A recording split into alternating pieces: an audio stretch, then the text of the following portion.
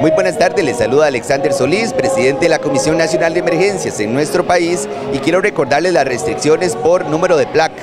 Ah, no, me dicen que yo, que ya no, efectivamente ya no tenemos restricciones de ningún tipo en nuestro país, así que quiero enviarle un saludo muy, pero muy especial a toda la gente de Pérez Celedón y la zona sur, que siempre estén conectadísimos con TV Sur Canal 14. Quienes escucharon al presidente de la Comisión Nacional de Emergencias, Alexander Solís, en las diferentes conferencias de prensa, hablando sobre todo de las restricciones.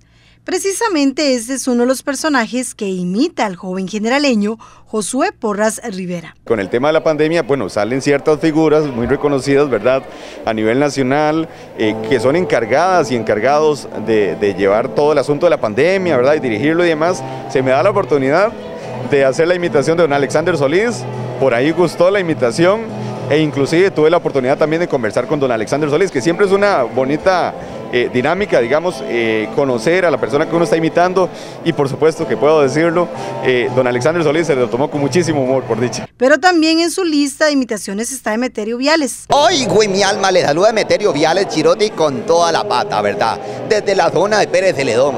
Un saludo para toda la gente de TV Sur Canal 14. Y el ex candidato presidencial Rodolfo Pisa. ¡Qué torta! Les saluda Rodolfo Pisa. Qué gusto saludarlos. Mire, yo creo que bueno, el camino es estrecho hasta la jeta pesa. Y la piedra que está para el perro ni metiéndose al cafetal. Sigan en sintonía, por supuesto, de TV Sur, Canal 14.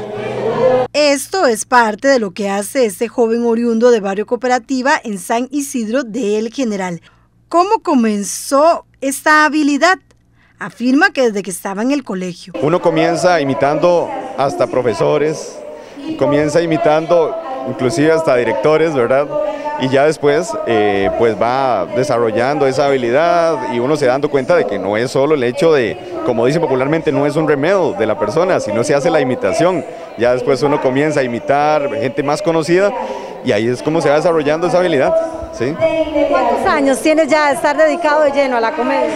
Yo, bueno, desde el 2016 tuve la oportunidad de incorporarme al programa Pelando el Ojo, este año cumplo seis años y pues precisamente fue a través de un casting que se hizo en aquel momento, sin saber yo absolutamente que eso me iba a pasar, ¿verdad? Uno no, no se imagina, pero es una, una bendición muy grande realmente y, y, hay que saber aprovecharla, por supuesto. Desde el 2016 forma parte del conocido programa radial Pelando el Ojo. Ahora no solo trabaja en las imitaciones en voz, sino también la caracterización. Se hacen trabajos de caracterización.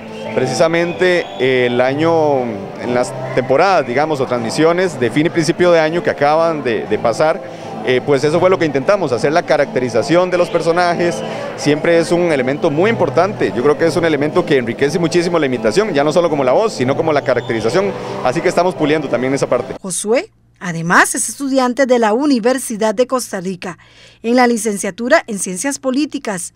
Estudió en la Escuela Unidad Pedagógica Rafael Ángel Calderón Guardia y concluyó sus estudios de secundaria en el Liceo UNESCO, donde precisamente fue invitado especial en el 69 aniversario de la institución. Vamos a ver qué, pasa, ¿verdad? Porque la idea mía siempre es llevar las dos cosas en simultáneo, ¿verdad? Porque no puedo dejar la imitación porque es algo que yo siempre he querido y a la vez también me gusta lo que he estudiado, precisamente por eso lo hice. Entonces, esa es la idea, complementarse, yo creo que se pueden llevar perfectamente las dos cosas de la mano y a ver qué tiene la vida para nosotros. Por su trabajo y estudios, Josué reside en San Pedro.